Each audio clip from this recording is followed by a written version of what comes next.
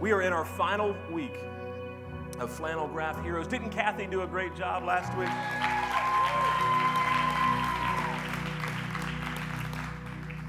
I want to begin this message uh, a little differently than I usually do. I usually tell a story or do something before, but I want to dive right into a, an opening text. And we're back in Judges again. I didn't mean to do this. I didn't mean to spend almost our entire series in Judges, but I just couldn't get away from it. And God was just opening these characters to me. So let's look at Judges chapter 5, starting with verse 6. In the days of Shamgar, son of Anath, in the days of Jael, the highways were abandoned. Travelers took to winding paths. In other words, folks, it was a dangerous time to live.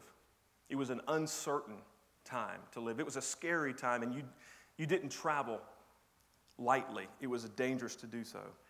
Verse 7 Villagers in Israel would not fight. They held back until I, Deborah, arose. Until I arose, a mother in Israel. Verse 8 God chose new leaders. Everybody say new leaders. New leaders. Come on, young people, say new leaders. new leaders. That's right. God chose new leaders when war came to the city gates, but not a shield or a spear was seen among 40,000 in Israel. The enemy was at their door, and nobody was ready to fight. Nobody was prepared. As I read that and studied that, I thought of, of my son Chuck. We got to visit him a few weeks ago at his new property in Townsend, Tennessee. Anybody go to Cades Cove? That's where he lives, like five miles from the entrance to Cades. It's absolutely gorgeous. And he's built this, this, this man garage. I mean, it's like the, every man's dream. It was a giant three bay garage with all the bells and whistles and the toys and everything. And they're living in an apartment above that while they finish their, their house. So I was, we were downstairs and the kids were playing, and I went into the lower bathroom to use the bathroom. And I could barely get into the bathroom. I was like this, trying, I couldn't even move. I came out, it was full of weapons, of guns. I mean, full. And I came, I came out, I was like, Chuck, dear God, son, what in the world? and he said, man, he said, I really need to, to get a, a gun case or gun uh, safe for these. He said, the problem is the biggest one I can find, this is what he said, will only hold, only hold 60 guns. Only? You have more than 60? He goes, Oh, yeah, and ammunition to go with it. So as I read these, these as I read, now he, Chuck got into the, Chuck got into the Doomsday Preppers. Anybody watch that show? Come on. All right. I'm going to keep my eyes on, no. I, I'm going to come to your house, actually. The Doomsday, he, they absolutely loved it. And I'm telling you, he, he, he's dedicated an entire section of this garage with, with you know, containers full of bottled water and gas masks and MREs and canned goods and, of course, the weapons everywhere. There's a weapon everywhere. I'm serious. It's just un. You walk by and there's a gun. Just, I mean, it's it, crazy, crazy stuff if, if, if we have the zombie apocalypse, I know where I'm going, except when I get to his gate, because he has a gate too, I, I just want to make sure I let him know who's there, because he's going to shoot first, I'm sure, and ask questions later. But, you know, uh, Chuck was pre- is prepared as opposed to these Israelites who were not. Now, again, I. right? So, again, I didn't plan on being in Judges, but here we are uh, once again. But today we don't have a flannel graph hero, we have a flannel graph shero. Come on, ladies. Woo! Today we're going to talk about Deborah. We're going to talk about Deborah. Now, the portion of scripture that we just read is actually the end of the story. It's actually a song that she wrote at the end, after the battle, after the war, after the trial. It was a battle that she helped lead, a battle that she helped to happen and she inspired. And she accomplished this. Everybody, think, think about this. She accomplished this in a male dominant society. If you think, you think we have inequality problems now, ladies, oh, listen, the ladies back then, the women back then were held just above slaves. I'm, I'm being totally serious. And in that environment, she rose to the very top of leadership as a judge and as a rescuer of Israel. And I, it's, it's, if you're taking notes, which I'm sorry, it's dark, but you, have, you, you know, do the best that you can or use your phone. If you're taking notes, it's worth noting that she is the only judge out of 12. Remember, this book of Judges happened over a 300 year period from Joshua to King Saul. And she was the only judge out of 12 that the scripture has nothing bad to say about her. The other judges had their issues. We talked about Samson a couple weeks. His whole life was an issue. Come on. Ehud, we talked about Ehud. Ehud was, did a great job, but remember, he chickened out before he actually finished the job, right? Remember that.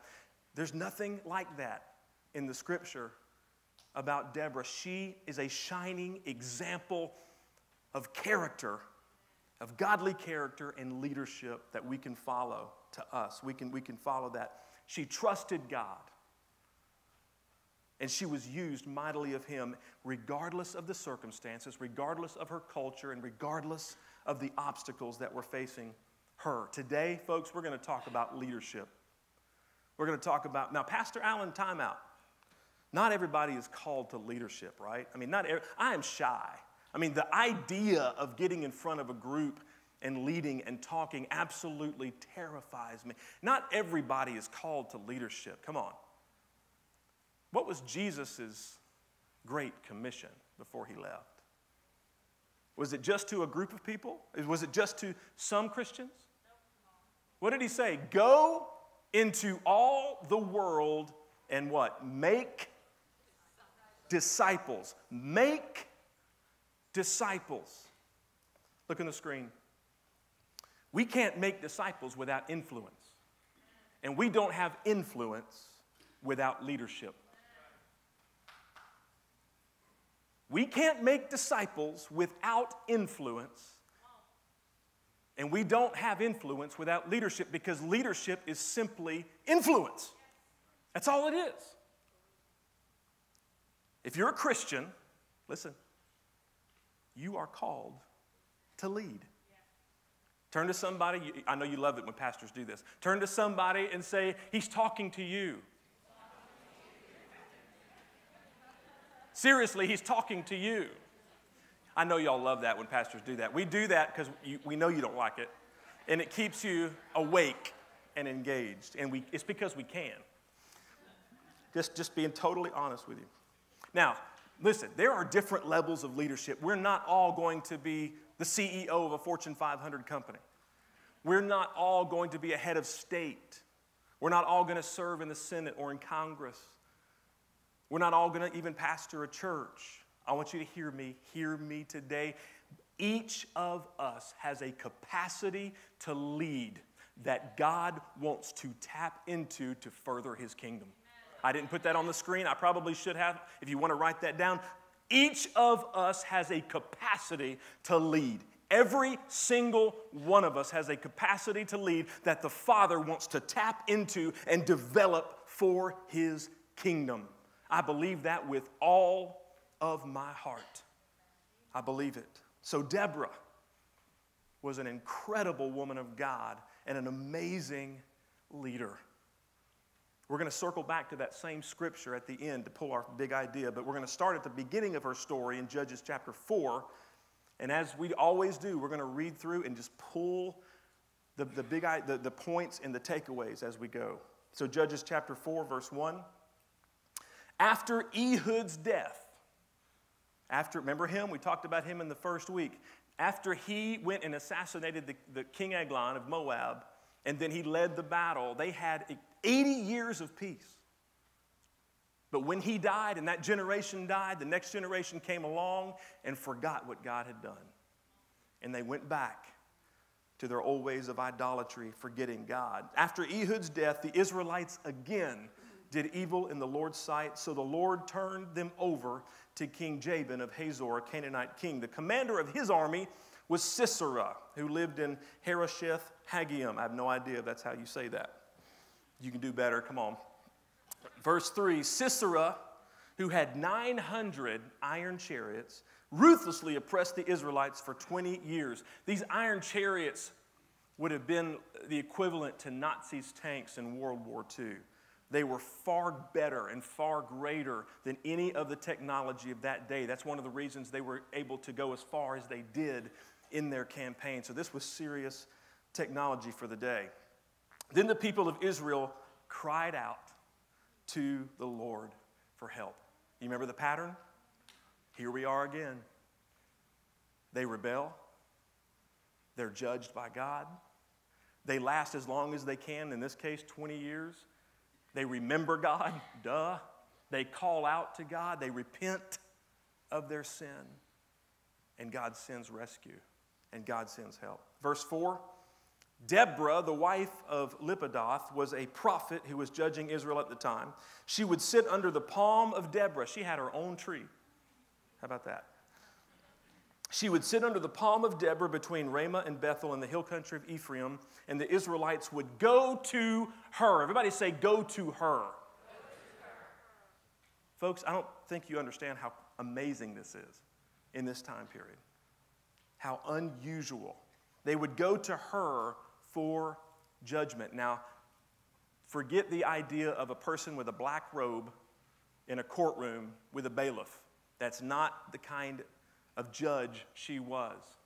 She was just so wise and so close to the Lord that people were drawn to her for basically advice and arbitration. And they would come to her and she would hear them and she would give them advice. Remember Dear Abby? Kind of like that, but ramped up to a very much better level, okay? So that's what we're, what we're talking about in this case. So, verse 6 One day she sent for Barak, who was a general, son of Abinoam, who lived in Kadesh in the land of Naphtali. But here's the deal she sends for this general, but he lives 70 miles away. Now, to us, that's no big deal. Well, actually, it would be very inconvenient. I would not want to do that either.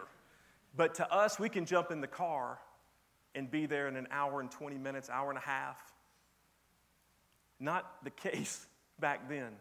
We just read a scripture about how dangerous it was to travel, about how they had to take back roads to get there. This would have taken days to get there, and it would have been a dangerous trip. And yet, Barak comes. Now, think about that. I think this speaks volumes as to her influence and her leadership that this guy would drop everything and travel 70 miles to meet with her. So here's my first point great leaders inspire sacrificial action. Great leaders inspire sacrificial do you think for a second this man Barak would have dropped everything and taken this journey for just anyone? Would you? I mean, we don't just, you don't just drop everything, your plans, your schedule, what you have for the day for just anyone. But listen to me people will sacrifice for great leaders because great leadership is rare. People will sacrifice for great leaders because great leadership is rare. We've seen it from the beginning of time. People will sacrifice for people they believe in and that have a vision they know they can trust. Deborah was that great leader, and we can learn from her. Let's continue this story. So Deborah said to him, This is what the Lord, the God of Israel, commands you. Okay, so that's why she didn't just send a messenger boy to give him a message. This was a word from God. She didn't want to just send a text message. Some things are more important, amen? Some things need to be delivered face to face. This was a word from God, and she needed him right there. This is what the Lord, the God of Israel, commands you. Everybody say you. Was the command to Deborah or to Barak? To Barak. Call out 10,000 warriors from the tribes of Naphtali and Zebulun at Mount Tabor, and I will call out Sisera, commander of Jabin's army, along with his chariots and warriors, to the Kishon River. There I, God, will give you the victory over him. So, everybody, look at me. This is a direct word from God through the trusted prophet, the trusted rescuer, the trusted judge of Israel, Deborah, to fight. And if you fight, I will give you the victory. Easy peasy, right? That's easy. I mean, I, I would, Adrian, I'd love to have something that clear. Come on. We know it's from God because Deborah is a trusted prophet. And he said, If you'll fight, I'll give you the victory. Verse 8 Barak told her, I will go but only if you go with me. I'll go, but only if you go with me. This woman, Deborah, must have been something else. She must have inspired so much confidence and peace and assurance. Have you ever been around somebody like that? Do you know anybody like that? Somebody that you just kind of change your schedule to try to meet up with them. You, you do whatever you can and work it out to accidentally run across their path. I'm not talking about boyfriends and girlfriends. That's not what I'm talking about. I'm talking about somebody you just want to be around. You feel more at peace when you're around them. You feel more confident when you're around them. You feel God when you're around them. Can I tell you that it's God's desire that you be that person? Woo! My God, I felt that. My Lord. About 20 of you agree with that. Listen, no, no, no, no. God wants you to be that person. It's God's will for you to be that person. Look at the screen. God, great leaders inspire confidence. Great leaders inspire confidence. I make it a matter of prayer, staff, every day, that I somehow can inspire confidence in my staff as I lead them and as we lead the church, that they would be confident in the direction that we're going, even if they don't agree or, or whatever, that they, there would still be confidence that I'm hearing from God. I pray that I inspire you and confidence in you as, as those who are really connected to new life, that you would be confident in the direction that our church is going. But you know what? Most importantly, I pray I inspire confidence in these folks right over here, my family.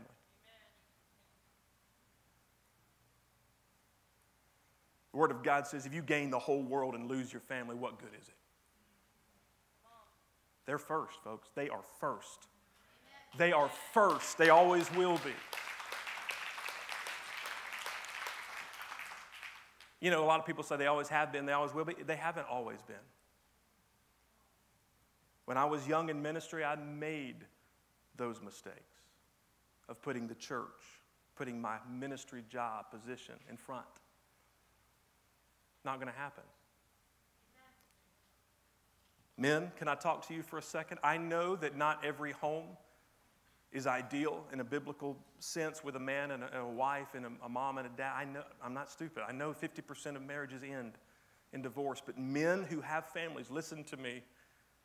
You have been called biblically to be the priest of your home, to lead your families. But that doesn't happen automatically. You have to earn that. Our families need to know they can count on us, men. They need to be confident in us to provide for them, to protect them, to love them, and to lead them. They need to be confident in our relationship with Jesus Christ. I'm talking to somebody right now. Our families, men, need to know that we love Jesus. That we walk daily with the Lord. They need to see evidence of that. Not just what we say, but what we do. They need to walk in on us reading our Bible. They need to come in on us when we're praying and, and seeking God. They need to know that we are walking with God, trusting God as we lead them, our family. Come on, somebody.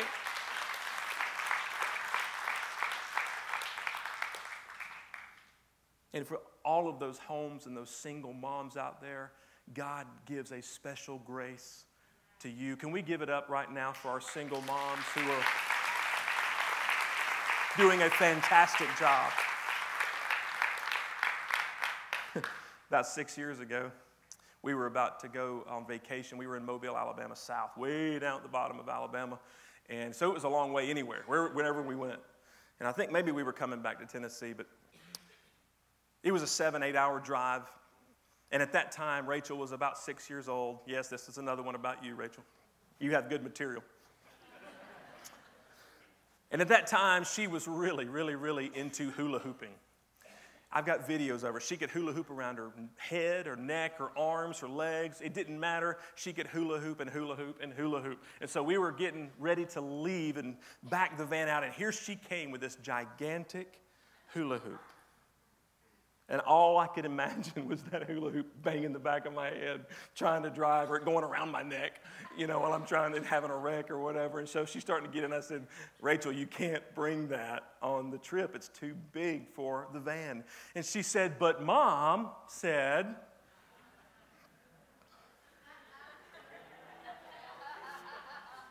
And it wasn't even, but mom said I could. It was, mom said, if you said it was okay even worse. Sometimes the view from the bus, under the bus, is really good. So I said, Rachel, Rachel, I rarely, I rarely do this. I rarely do this, but I'm the man of the house. and I'm going to put my foot down. You cannot bring that hula hoop. Well, that face, you know, and just she she thought about arguing, but she to her credit, she went ahead and she put the thing up. So we're closed up, we're getting ready to pull out of the driveway, and I had that thought, did I lock the front door? You know, did I lock the door? So I put it back in park and I said, Hey Rachel, run out and just check the door and make sure it's locked. And she didn't didn't there was no beat. I mean, immediately she said, Well, you're the man of the house, you go do it.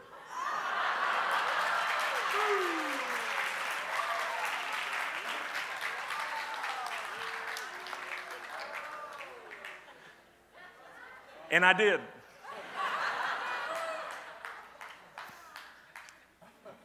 Back to Deborah.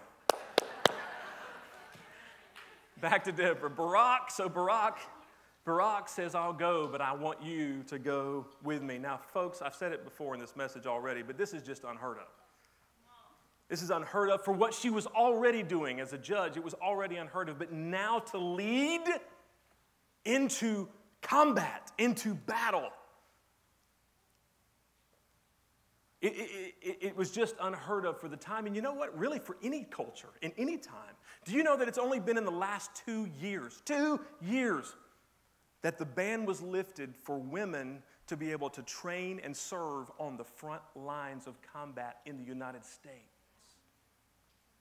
Now, I'm not, gonna, I'm not trying to start fight or an argument. I'm not male, a male chauvinist. You, I've got, I've got three daughters and, and empowering them and a wife who preaches and all that stuff. So don't, you know, keep your emails to yourself. But listen,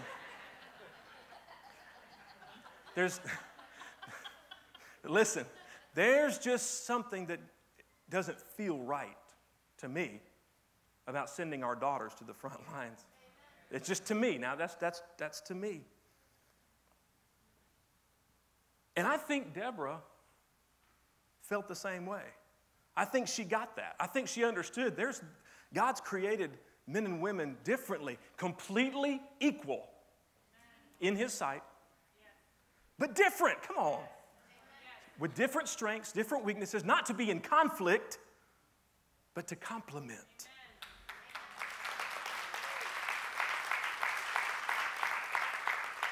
So I think she said, I think with a little smirk or a grin or something on her face, I think she said, verse 9, Very well. I'll go with you, but you will receive no honor in this venture, for the Lord's victory over Sisera will be at the hands of a woman. I bet his cheeks and just burned red, especially if he had any of his buddies standing around. Are you getting this? Are you getting the feel for this? Are you get, are sensing the tension and just what's happening? Bottom line here Barak was shunning his responsibility. God told him to lead the army into battle, not Deborah.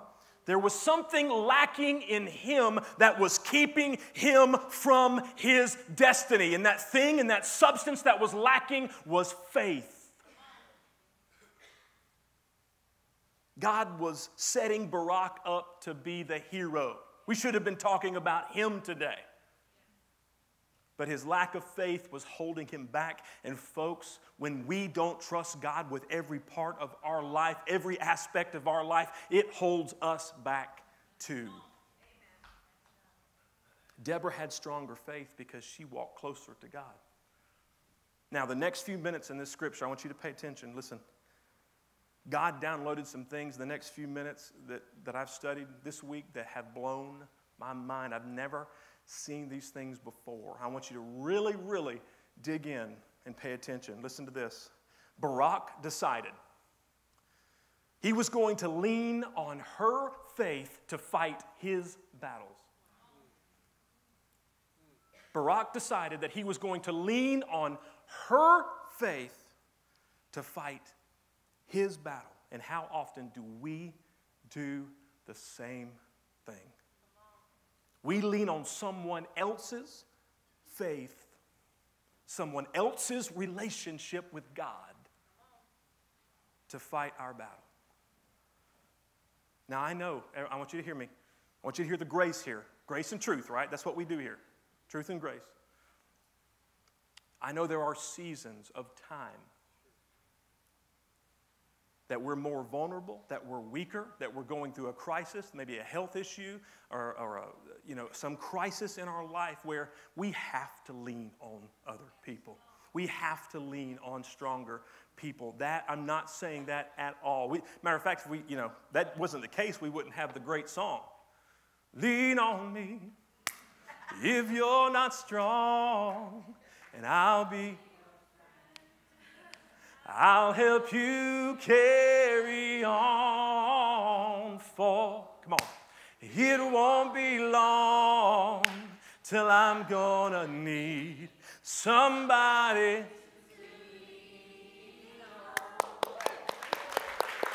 Very good. I was, I was actually really worried you weren't to sing at all, and I was to be like, this is really dumb. But here's the deal there are those seasons, but those seasons can't turn into years. I want you to hear me. Relationships are strained and eventually break if only one person is carrying the load.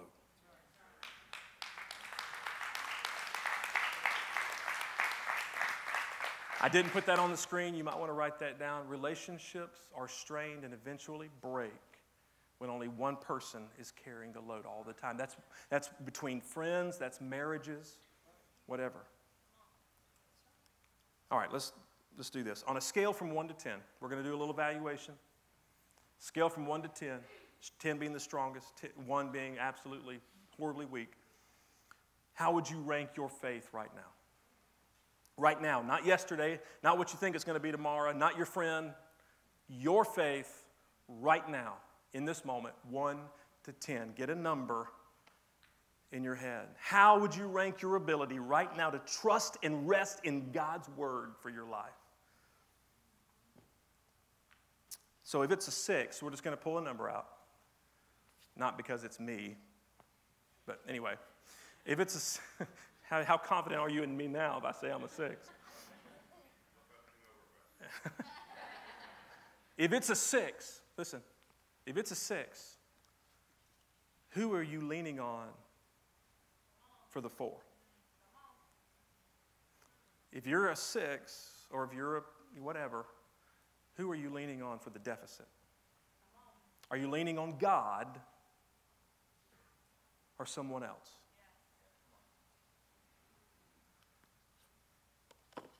I want to look at a, a, a, story in the New Testament quickly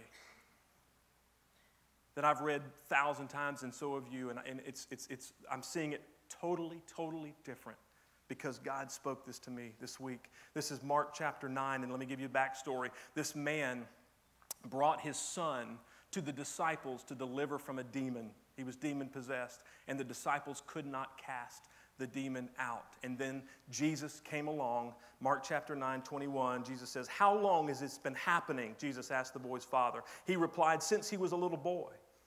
The Spirit often throws him into the fire, into the water, trying to kill him. Have mercy on us and help us if you can. Verse 23. what do you mean if I can? That gives me shivers. What, what, where have you been, sir? I've been doing this for two years. Where, where have you been? What do you mean if I can? Anything is possible if a person believes. Anything is possible for a 10 out of 10. Come on, follow me. How many know if we had a 10 out of 10 faith, we could say to that mountain, move, and it would? Come on, I'm being real in this house.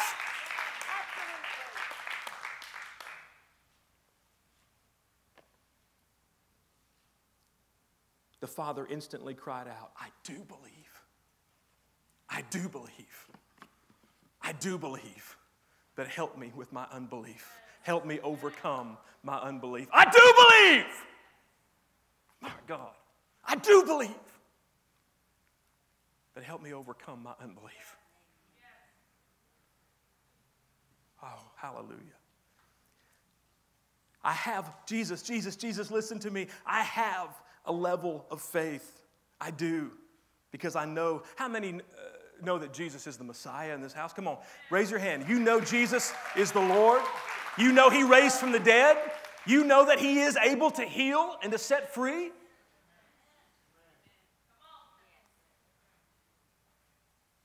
If, you, if you're a Christian, you have at least a one. Come on, celebrate the one.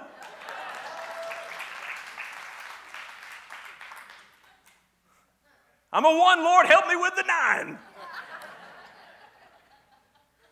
I'll give you a chance to do that in just a minute. We're going to pray. I have a level of faith, God, but help me overcome my deficit. I've always read this scripture and scratched my head thinking, well, do you believe or don't you?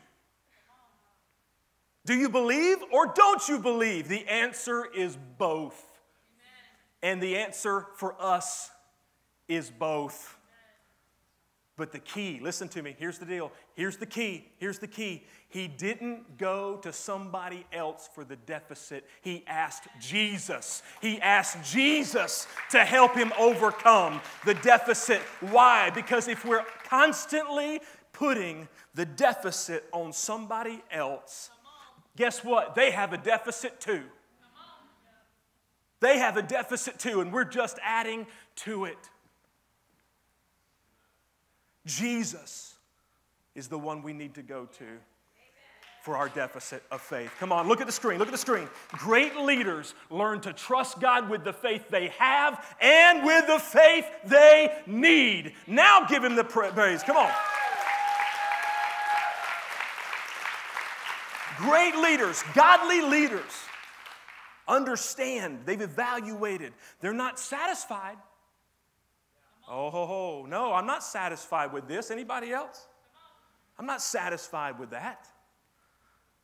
But they understand that there is a deficit and they don't throw it on somebody else, they go to Jesus for the deficit. Great leaders learn to trust God with the faith they have and with the faith they need.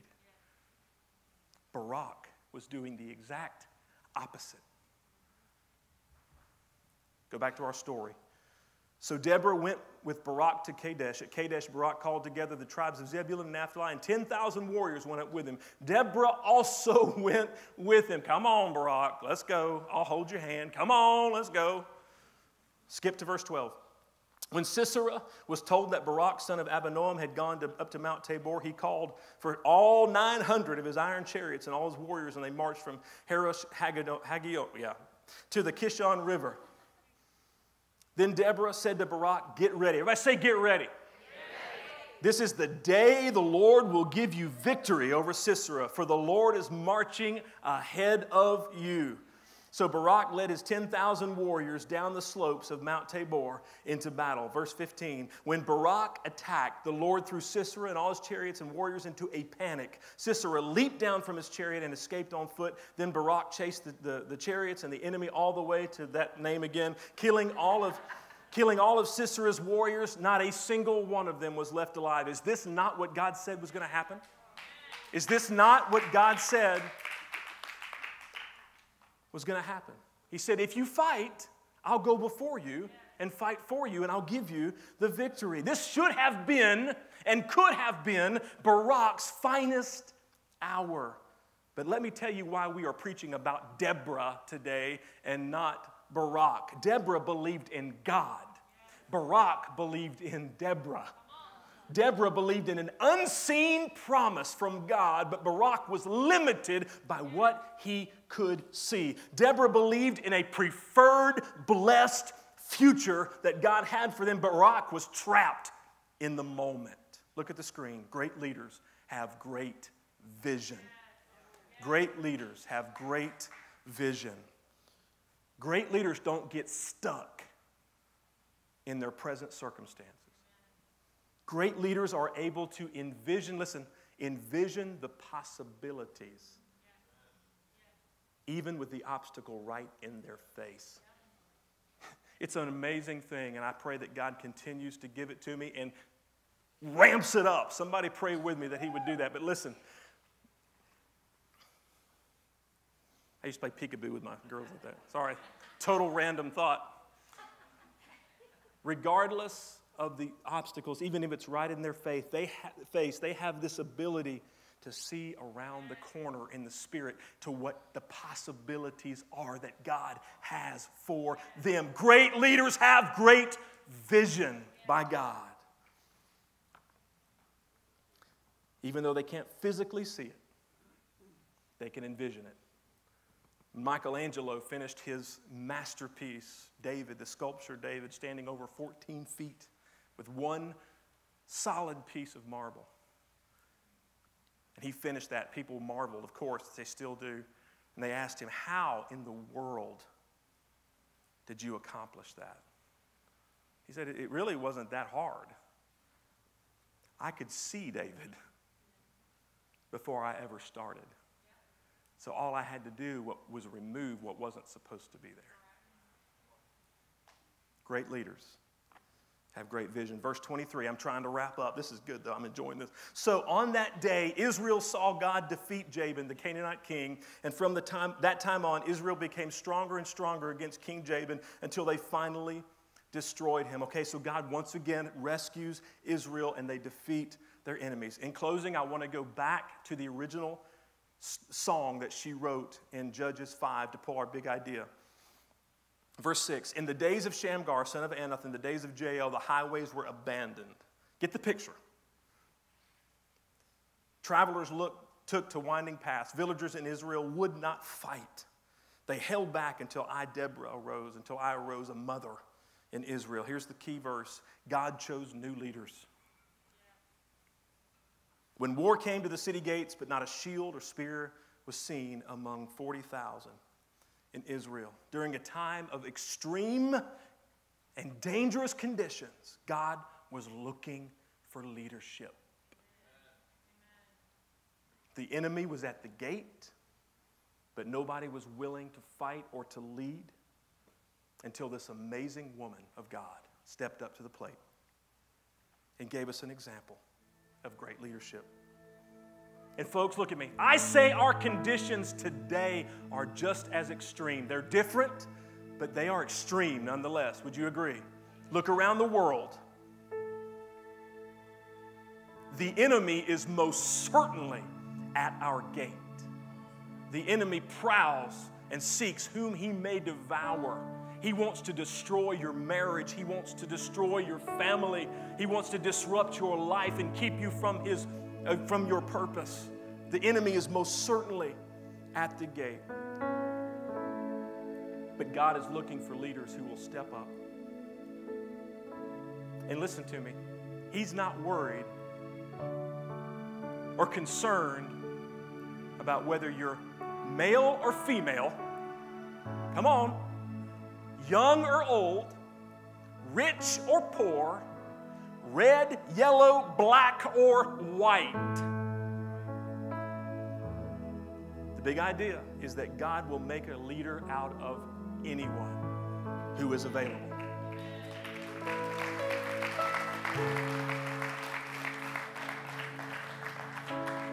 God will make a leader out of anyone who is available. Here's the challenge.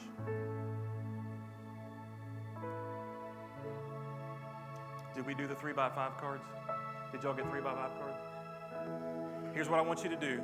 We had some confusion with the lighting. You were supposed to get three by five cards when you came in. That's okay. That's okay.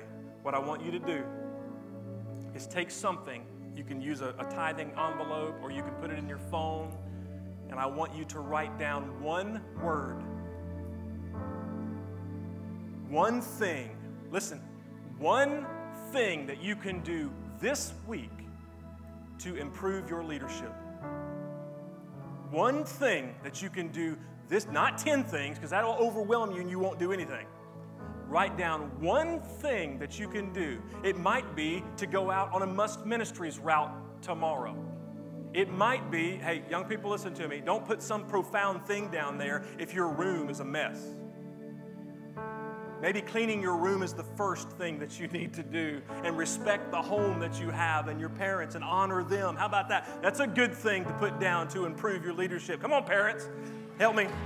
Listen, one thing, maybe it's to start a quiet time with the Lord. Maybe it's to join one of the many ministries at this church and get involved. Maybe it's to begin giving and paying tithes like the Word of God instructs us one thing, one thing. If your marriage, listen, if your marriage is suffering, may I suggest that your one thing is to own up to that, to come together and to seek help? Maybe that's your one thing. One thing that will improve your leadership. Would you bow your heads?